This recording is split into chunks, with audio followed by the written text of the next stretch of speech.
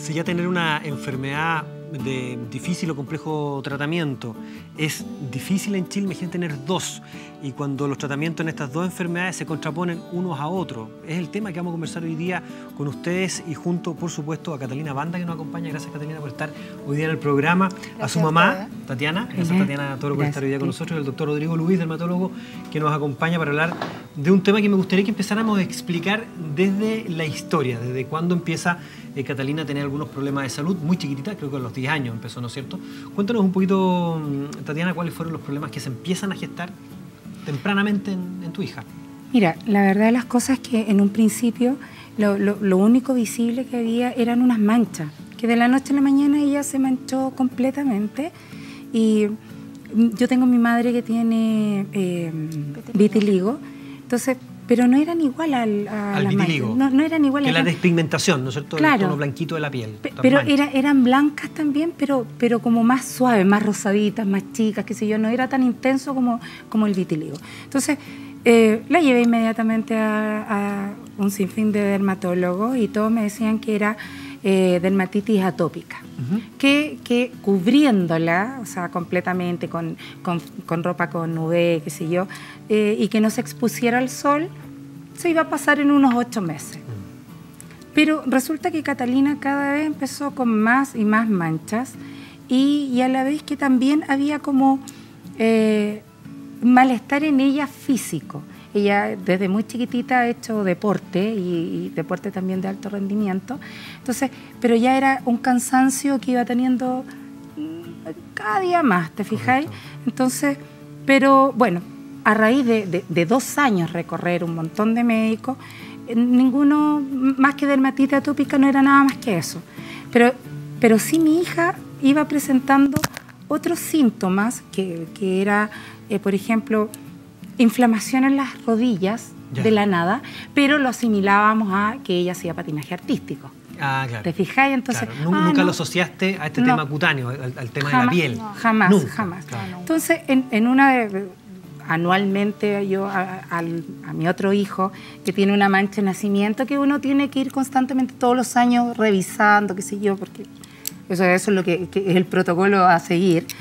Eh, bueno, llegamos y saqué por o sea, por que la Cata también la viera la, dermatóloga.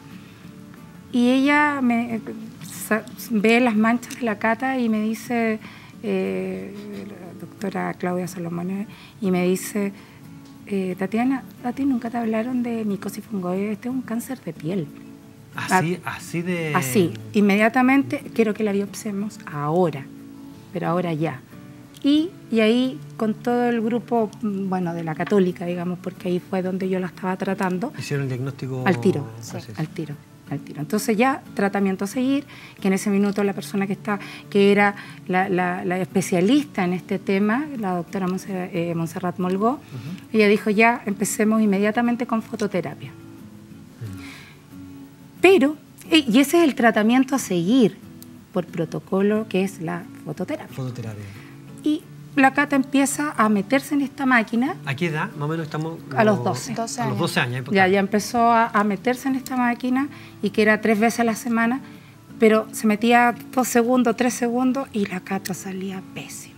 ¿Me dejas hacer un, pequeño paréntesis para Rodrigo? ¿Nos puedes explicar desde el punto de vista médico, clínico, qué es esta micosis fungoide y, el tratamiento que nos está contando Tatiana? Eh, la gente que nos está viendo, eh, entender que hoy día estamos hablando de enfermedades raras ¿ya? La dermatitis atópica ocurre en un 20% de la población, o sea, uno de cada cinco niños. Ya. Por eso, cuando un niño viene con manchas blancas o con irritación, se queda en la piel un cuadro más o menos crónico, en un contexto a veces medio alérgico, se piensa en la dermatitis atópica. ¿ya? Pero todos estos cuadros tienen que ir tendiendo a mejorar o tienen que tener una respuesta esperada. Y como bien lo dice la mamá, al no tener la respuesta esperada, empieza a buscar otras alternativas tal vez como enseñanza para la casa, eh, cuando uno está en estos cuadros, eh, ir exigiendo o ir pidiéndole al doctor más o menos un pronóstico de resultados. ¿ya? Mm. ¿Qué fue lo que fue haciendo la mamá? A veces hay mamás que empiezan a picotear y van a 10 doctores distintos, entonces nadie alcanza, sospechan que algo más puede ser y no alcanzan a hacerlo.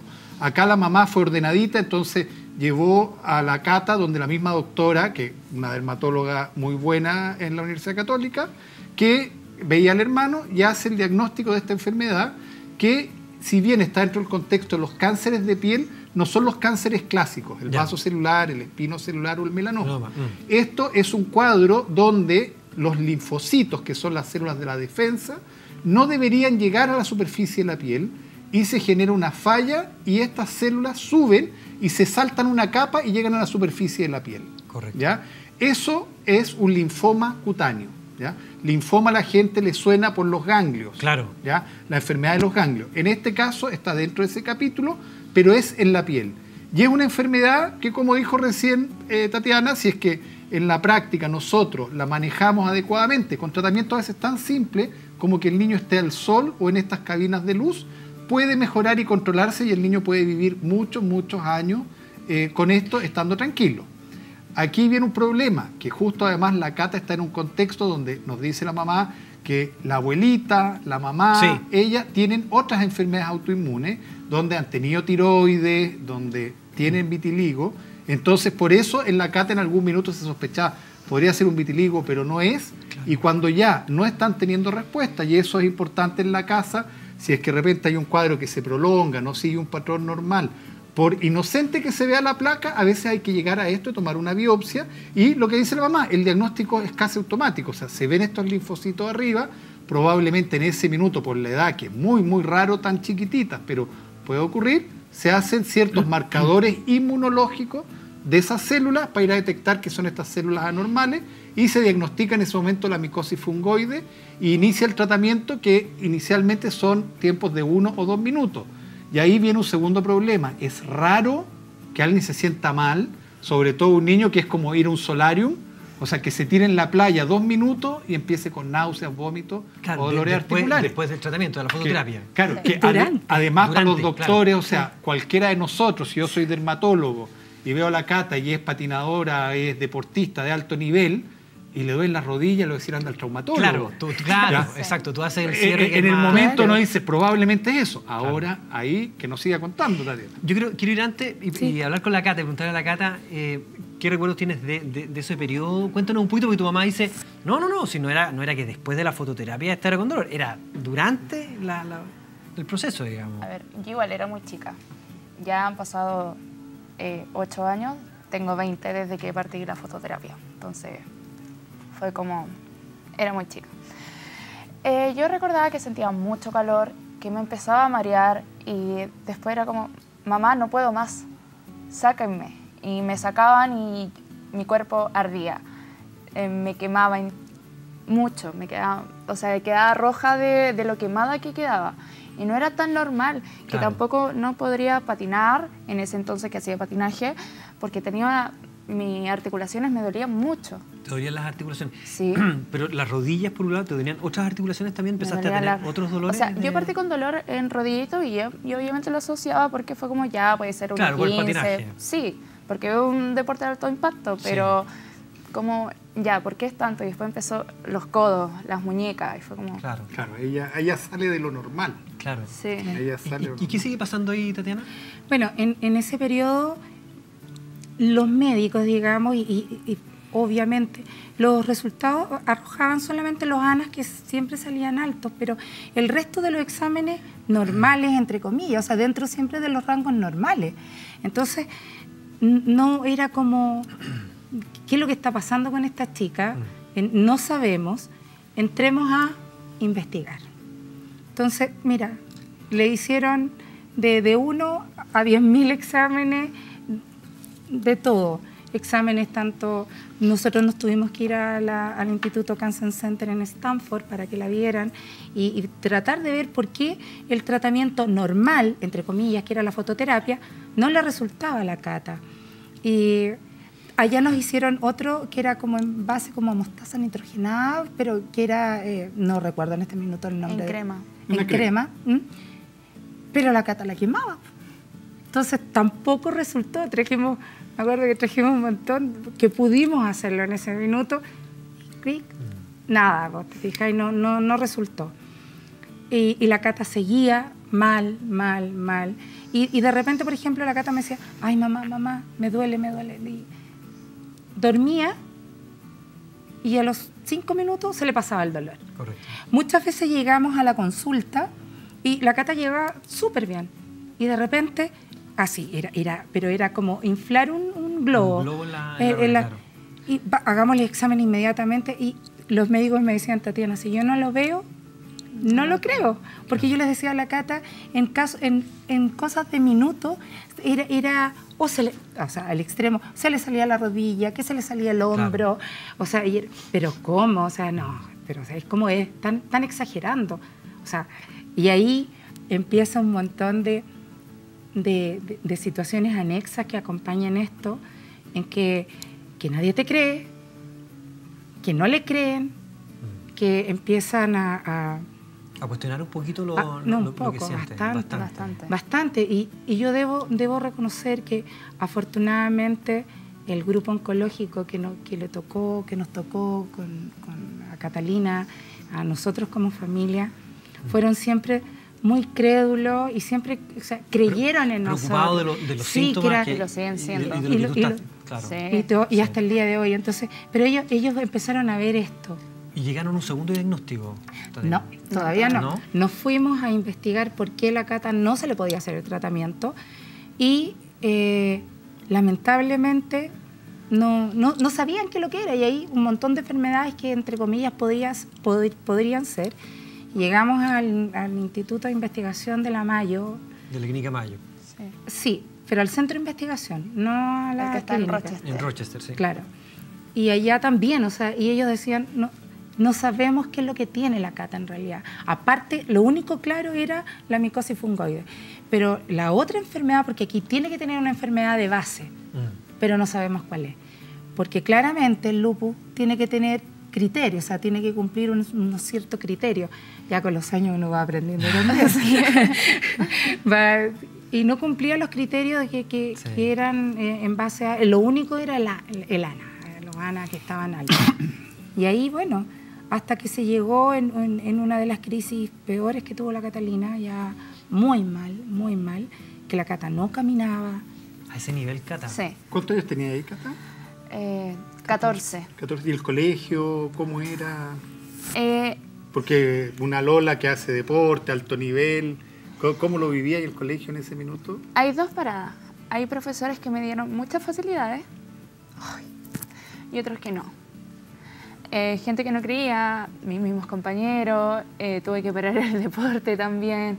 Obvio, sí tenía un grupo de profesores que... ¿Y tus compañeros de colegio, de mis curso? o sea, de, ¿De la misma sala o, O sea, o el entorno? El entorno en sí, mis, com- mis compañeros de colegio era como, Cata, yo seguía, estaba bronceada en invierno y yo soy blanca. Entonces me decían, hoy, ¿qué te estás arreglando? ¿Qué Tu, no te has tu pelo comer?". también se, se quemaba. Sí, también, tu mi pelo se quemaba por completo. Todavía no recupero todo mi pelo. Así ¿Y te que- quedaba más claro? ¿Te veía? Más claro. Era como, era como claro y cobrizo, que se quemó. Y 14 años es difícil, Sí, pues las po. niñitas están toda una época. Cata, te, te emociona recordar ese- ese- esos minutos. es Un como- poco. ¿Pero te, te emociona mal? ¿Te emociona como con, con pena por lo, por lo vivido? O por lo- sea, sí, pero a través de eso también creé como mi fortaleza. Mm. O sea, contar esto hace... Bueno, yo lo, ahora estoy en la universidad, es otro mundo que ¿Qué estoy estás viviendo. estudiando? Estudio fonoaudiología. Fonoaudiología. Estoy allá y de verdad es otro mundo. Mis profesores, mis compañeras, eh, porque es una carrera prácticamente de muchas mujeres, que sí formé una hermandad que no formé allá. Y de verdad es como, eh, llaman a mi mamá, la, eh, la cata está mal, ¿qué hacemos? O sea, hiciste una muy buena red de. de- Sí. de- de- Hoy día. Hoy día. Hoy día, sí. Es que también está en el área de la salud. Sí. Entonces, No, Hay- un vínculo de está comprensión metida mucho mayor. Sí. Ahora, para entender este tema de dos enfermedades, finalmente, ¿no es cierto? Tú has hablado lo- de los anticuerpos, llegamos al lupus, ¿no es cierto? Sí. Eh, desde el punto de vista médico, partimos el, programa hablando de una contraposición de tratamiento. Y aquí, Rodrigo, nos gustaría que nos explicaras, porque por un lado, ¿no es cierto?, la fototerapia que le hacen para el problema cutáneo, eh, le genera más problemas, más dificultades, hace más sintomático eh, todo el cuadro. Y por otro lado está el lupus. Eh, si nos puedes explicar un poquito la... Partimos, partimos en un concepto donde la cata a los 7, 8 años era un poquito alérgica, un poquito Claro. sensible, era tópica, que es un 20% de la población, o sea, uno de cada cinco niños, y es un niño normal, va al deporte, hace su vida normal, pero se ganó la lotería y se ganó el quino sacando un boleto con 10 años. O sea, un mal quino. Un mal Ah, quino, sí, o sea, un mal quino era el quino, el quino, el quino era, Ojalá, ojalá hubiera sido el ultra- quino. Claro, era la lotería súper acumulada, pero tenía 10 años y no podía cobrar el premio. Claro, ahí, ah, bueno, por ahí la no, arreglaste, no podía ahí- cobrar el premio, o sea, se sacó un muy mal premio. Entonces, ya tiene una enfermedad rara, que es, es una enfermedad que dentro de un contexto de una niña que ser un poquito alérgica, hace estas lesiones que están dentro de un contexto oncológico, ¿ya? donde tenemos células anormales, por eso se dice cáncer de piel, pero que podía mantenerse controlado con un tratamiento bastante aparentemente simple, que eh, ella traía estos anticuerpos antinucleares. Anticuerpo antinuclear, para que la gente entienda. Ana que tú has dicho. ¿ya? Sí, antes, Para que la gente entienda, las células tenemos un citoplasma y adentro tenemos un núcleo. Pero el sistema inmunológico nunca toca el núcleo, porque está por fuera. Pero si la célula se rompe, ese núcleo sale. Y ahí los anticuerpos vienen y lo atacan. Claro. Y ahí se inflama. Y probablemente en ella, como tenía la abuelita con tiroiditis, la mamá con tiroiditis, ella con tiroiditis, eh, vitiligo, dijeron, ya, esto es... eh, Un cuadro eh, inmunológico. Un cuadro inmunológico ahí está el ANA. Claro. Pero probablemente ese ANA ya nos está avisando, se usa como screening, que se llama, Mm. que es un sistema de detección precoz de enfermedades reumatológicas, que son estas autoinmunes, donde en este lupus, lamentablemente, el cuerpo va y ataca la célula, el núcleo de la célula. Claro. Entonces, cualquier proceso inflamatorio que se rompa la piel y se rompa la célula, van a aumentar estos anticuerpos en a generar inflamación. O sea, o sea, cada vez que se metía la, la fototerapia, a la fototerapia llamado, le poníamos decían, "Loco, sol". Vengan, Le poníamos sol y le decía, vengan a vengan, células vengan, a- lupus. vengan a, inflamar, vengan, vengan a inflamar. Entonces, claro, hacía deporte Tremendo. y hacer deporte, una rodilla que duele una vez, está bien. Claro. Pero ojo, los que están en la casa, si el niño empieza a tener lo que nos acaba de contar la cata, muchos dolores, Claro. ya es anormal. Más y en, en distintas en articulaciones. distintas articulaciones, en una niña que empieza a tener hartas cosas. Entonces, muchas veces los diagnósticos no son fáciles. Y ahí, nuevamente, perseverancia la mamá de que indagó un equipo médico que la conectó con estos otros centros, porque a veces nos quedamos chicos y muchas cabezas piensan mejor que una. Y ahí viene la contraposición de los tratamientos, que el, el tratamiento de fototerapia eh, mejo- empeora el lupus, pero mejora la micosis fungoide. Y si yo al lupus le bajo las defensas para que no ataquen al cuerpo, Claro. baja las defensas, empeora el cáncer. Yo diría cómo, yo diría cómo es el, cómo el tratamiento entonces, cómo se está manejando el...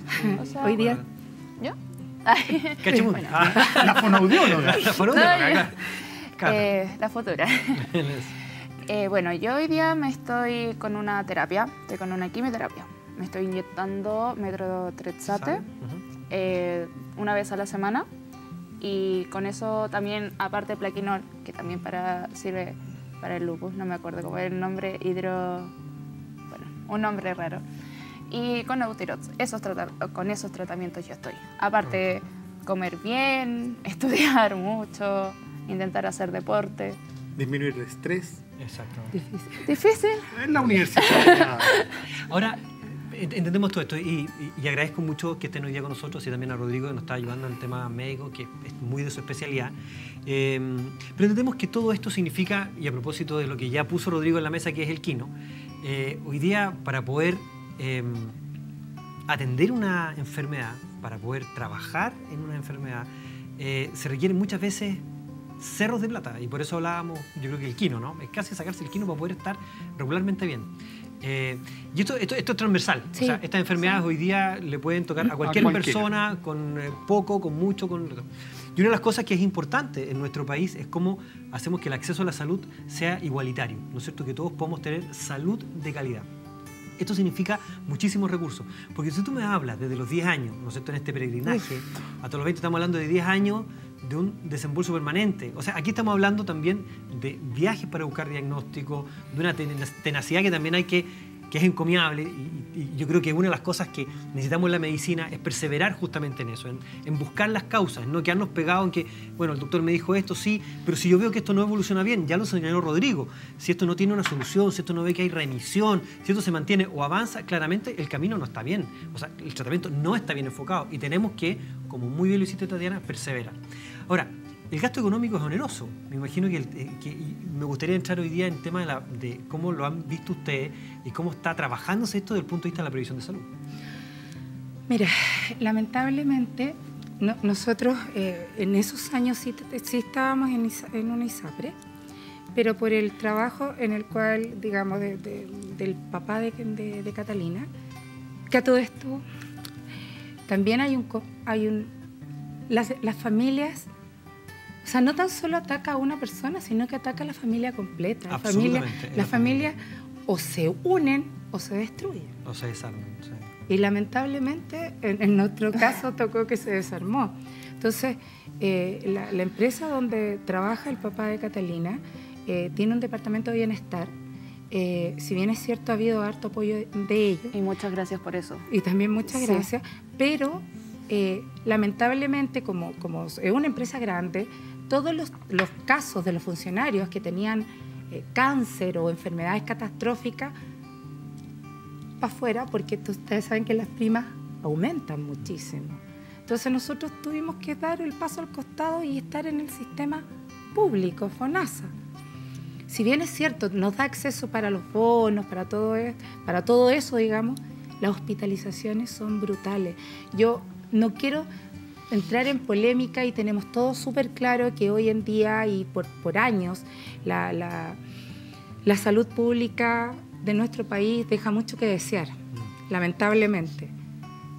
Eh, yo no puedo llevar, no puedo pretender a la Cata con una crisis lúpida, llevarla al hospital de la Florida, porque nosotros vivimos en la Florida, llevarla al Sotero del Río, y no es por desmerecer, no es porque queramos, ay, esta persona quiere, quiere ser más, no, no es, no es eso. No tienen los medios ni los accesos para poder, o sea, para poder tratar a mi hija. No puede ella esperar horas para que le calmen un dolor donde, donde los dolores son tremendos. O sea, yo creo que no, no hay cosa más terrible del ser humano ver a un hijo Con dolor. con dolor. O sea, es catastrófico por donde tú lo quieras ver. Y económicamente, mira, gracias a Dios, yo tengo una pyme, entre comillas, que me Pasamos ha... el dato después. Sí, pasamos el dato después. No, que me ha podido Ayudar. ayudar, pero ya todo se acaba. O sea, ya no, ya- si tú me decís hoy día, Tatiana, ¿puedes? No, no puedo. O sea, ya, ya hoy día ya no. Pero te das cuenta, Tatiana, y, y- y- y un poquito poner en relevancia lo que significa hoy día una salud justa y una salud igualitaria, una salud de calidad, ojo, para todos. Sí. Eh, porque claramente los problemas de salud que afectan a todos los chilenos, van a afectar a todos, eh, no solamente destruyen el bolsillo, destruyen familias. O sea, Sí. y, y aquí quiero ser súper claro, o sea, son problemas económicos tan severos, tan grandes, frente a los que nadie está preparado. Lo digo, nadie está preparado por una enfermedad como la que ha tenido Catalina y enfermedades incluso que cuestan millones y millones. Estamos hablando incluso, en este mismo sillón hemos tenido papás que necesitan un millón de dólares para tener a sus hijos vivos, un millón de dólares al año. Eh, entonces, estamos hablando de verdad de algo que para nosotros el tema de la salud es catastrófico. Eh, y lo que cobra importancia y relevancia es cómo fortalecemos entonces nuestro sistema de salud pública, donde nosotros al hospital que vayamos tengamos los mejores servicios disponibles para todos los chilenos. Eh, yo creo que yo, yo diría, en el discurso que tú me das, y te lo digo con todo cariño Tatiana y Catalina, siento eso. O sea, siento que si tú vas al, al lugar que te responde o vas a otro lugar que te pueden mandar, no, no tienes el tratamiento como, como tú quisieras tenerlo, o como ella lo necesita más que como decirte. Mira, yo, yo, yo tengo claro que la disposición de los médicos está. Y de todo el equipo de salud. Y de digo, todo, o sea, el yo- equipo yo- de salud, tengo- yo me saco el sombrero, Sí. de verdad. Perdona que diga un Sí. minuto, yo creo que Rodrigo me acompañas en eso, pero el 99,9% del equipo de salud hoy día está haciendo una labor tremenda en todos los servicios públicos. Nosotros nos, nos- nos Y formamos en es servicio formación. público. Sí. Formación, o sea, lo que la Cata está comentando, que la sociedad es tan de repente eh, poco equitativa, que en el colegio la discriminaron y su grupo de amigos de niños. Que Claro. el niño, si bien a rato uno es desordenado de niño, no debería ser cruel. ¿ya? Pero y somos los eh, adultos. eh, eh, los adultos en esa época le, le- le hacen un, un tema de crueldad que ella encuentra su núcleo en su equipo de salud hoy día en la universidad estudiando una carrera de salud. Qué bueno que ella la pudo estudiar y está con un equipo de salud estudiando, pero en la formación, que dices tú, nos formamos en hospitales públicos, donde, o sea, en nuestra época con Claudio nos tocó ser alumno de medicina cuando estábamos con cólera y nos tocaba ir a la posta 3 a las salas de cólera. Y eso es lo que uno vive. O VIH. ¿te o? VIH, y somos los mismos O sea, doctores. VIH, perdón, VIH-Sida, porque en ese tiempo En esa era nuestros SIDA, pacientes se claro. morían de SIDA. Sí. Entonces era tremendo.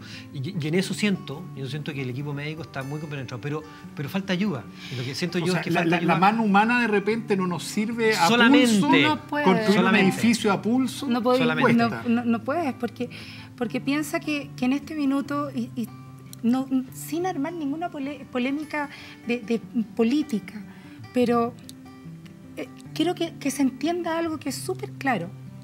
Chicos que logran sobrevivir a enfermedades catastróficas y que, y que como sea, lo único que yo le puedo dejar a mi hija hoy en día, porque no tengo nada, nada material que dejarle hoy La en día. la pyme. No, no, tampoco. no. Eh, Pura digo- matemática, no puedo. no, pero es la educación. Es, es- es las herramientas con las cuales ella se puede defender en la vida. Pero hay un tema que es súper delicado y súper cruel decirlo yo como mamá. ¿Qué saco o qué he sacado durante tantos años si la Cata hoy en día está estudiando una, una, carrera universitaria, está, está- va a ser fonoaudióloga si Dios quiere, pero lamentablemente no tiene acceso hoy y no sé mañana, y por eso le hablo a todos los senadores, diputados, presidente de todo. La Cata sale mañana y lamentablemente no tiene, va a tener acceso a, a- a las ISAPRE. Porque A una tiene ya cobertura. una. ¿Perdón? A una cobertura también. O sea, no, no tiene acceso y no lo va a tener. Porque la ISAPRE, ella ya tiene una enfermedad, dos enfermedades catastróficas preexistentes. Entonces nadie, la va a, nadie va a querer hacerse cargo, entre comillas, como dicen, de estos cachitos. Entonces, la Cata está estudiando para, cuan- para que mañana ella pueda pagarse su salud, que cada día es más cara. O sea, yo... Y no, y que, o sea, Tatiana, enten- o sí. sea, Claro, Y entendiendo, y entendiendo eso, Tatiana, entendiendo eso, en, en ese discurso que tú tienes muy clarito que compartimos, ¿no es cierto?, en el tema de la salud, cobra fuerza, cobra fuerza el que nosotros tenemos que tener un, eh, una salud garantizada de buena calidad para todos los chilenos. Es decir, Obvio. nuestro sistema básico, la plataforma, el desde que nosotros tenemos, debe ser el mejor sistema, la mejor plataforma de salud igualitaria y de calidad para todos. Eh, siento que, que pasa eso. O sea, hoy día, claro, porque hoy día tú dices, eh, pucha, estás está, está aspirando a un sistema donde puedan cubrir tus enfermedades. Pero, pero ¿qué pasa con la labor del Estado, ¿no es cierto? A qué se debe el Estado, que es cuidar la salud y garantizar la salud de todos sus habitantes. Aquí ha mejorado el sistema y, y en eso también tenemos que probablemente eh, aclararlo para la gente que nos está viendo que cuando se crea el auge, cuando nosotros nos formamos hace 30 años, Actualmente GES. no existía, o el auge que actualmente es GES, ¿ya? que son eh, garantías en salud. Eh, hoy día se, se ha trabajado y, por ejemplo, cuando se crean los linfomas, estaban, pero no estaba la micosis fungoide porque era un linfoma cutáneo. Claro. Era como un linfomita. Claro. Hoy día el linfoma cutáneo entra. La cata, lamentablemente, volvemos. O sea, Sí, ti- ti- sí. tiene dos, No, sí. entonces... Y nos vuelvas a eh, mencionar Kino, por favor. ya, no, no vamos a mencionar sin, sin- sin marca, sin marca de premio, pero, pero, pero Claro. o sea, eh, Sí. eh, no, no puede tener tanta, Sí. tanta, tanta suerte porque Sí. tiene una enfermedad, pero tiene otra Sí. que, claro, las enfermedades reumatológicas también se están trabajando, están entrando, ¿ya? Pero claro, a veces las coberturas son básicas para el cuadro común y corriente. Aquí los, los tratamientos auge comunes de la micosis fungoide no le sirven. Entonces tenemos que entrar a las mostazas eh, eh, nitrogenadas, que son cremas o productos que nosotros usábamos hace 30 años atrás y que hay que reflotarlo en estos casos raros, que tampoco le estaban sirviendo. Pero eso ya como son tan raros, ya no entran a veces en el básico. Entonces es ahí la complejidad que viven los papás y que viven cientos de Mira. chilenos donde es importante eh, tal vez estos espacios para ir creando conciencia, ir creando los espacios y poder generar los cambios de que cuando se conversen los temas de las enfermedades raras o de, de repente uno puede tener, es muy poca la probabilidad, pero existen. Y acá, y, y no es un número, ¿ya? sino que es la cata. Y yo creo que ahí es donde tenemos que entender como sociedad que no es un número, no es una enfermedad, no es que vino un lupus con una micosis fungoide, no, Claro. vino una cata. ¿ya? Y ahí es donde tenemos que entrar a, a trabajar en eso. ¿Tú quieres comentar algo, Tatiana? Eh, Ah. No, o sea, ya- ya está todo más que dicho y, y la verdad es, es- quienes vivimos esto podemos entender y tener la empatía de lo que significa las enfermedades raras, no raras, el dolor, eh, el dolor físico me refiero. A, lo otro es otra cosa. Todo ayuda, porque nosotros, por ejemplo, si la cata hoy día está como está, es porque también todo lo alternativo que, que- existe, que eh, también lo hemos probado. Entonces, todo, de de verdad, o sea, desde acupuntura, no sé, que- Biomagnetismo. Todo, todo, Además, las dos enfermedades se empeoran con el estrés. Sí. Sí. Yo por eso le pregunté si se estresaba. Sí, demasiado. Oye, yo quiero, yo quiero agradecer la presencia de ustedes. Muchas gracias, Muchas Tatiana, por estar hoy día. Catalina, gracias por estar hoy día con nosotros. Por otro ¿Puedo dar testimonio. Sí, sí, sí. Eh, Yo creo, quiero decirle a todas las personas que sí se puede. Sí se puede, todo se puede en esta vida. Uno hay que tener fe, hay que tener esperanza, que de verdad uno puede lograr grandes cosas. Salí de cuarto, estoy estudiando, estoy feliz en mi carrera, estoy pololeando, o sea, de todo. Se puede hacer de todo. Y que luchen harto, que luchen por sus vidas. Si eso hay que hacer. Si no lucharía, no estaría acá. Gracias, Cata. Gracias por tus palabras y de verdad un honor tenerte en el programa. Tremenda fonoaudióloga, además. Y la vamos a tener de fonoaudióloga luego. el programa y con el gran compromiso social desde la experiencia que has tenido. Gracias, Tatiana. Gracias, Gracias doctor Rodrigo. Rubí. Y sí se puede, yo me quedo con esas palabras muy potentes, sí se puede. Sí se puede que la clase política de nuestro país se ponga de acuerdo, que las organizaciones que están trabajando en salud se pongan de acuerdo por algo muy importante, no por las diferencias, dejemos las diferencias al lado, pongámonos de acuerdo en una mejor salud para nuestro país. Los avances que hemos tenido nadie los desconoce, pero tenemos que seguir avanzando en una salud igualitaria para todos y de alta calidad. Nuestro pueblo lo merece. Pausa, volvemos. Muchas gracias. No, gracias a ustedes.